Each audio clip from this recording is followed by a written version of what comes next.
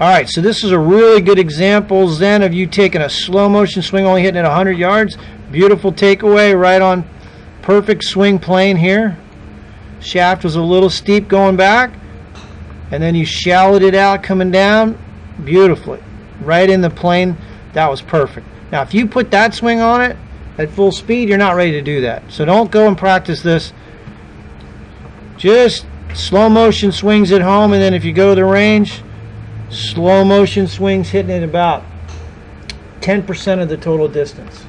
So if you hit a 7 iron 150 yards, hit it 15 yards. If you hit a driver 250, hit it 25 yards. Maybe 20% of the total distance. Slow motion swings.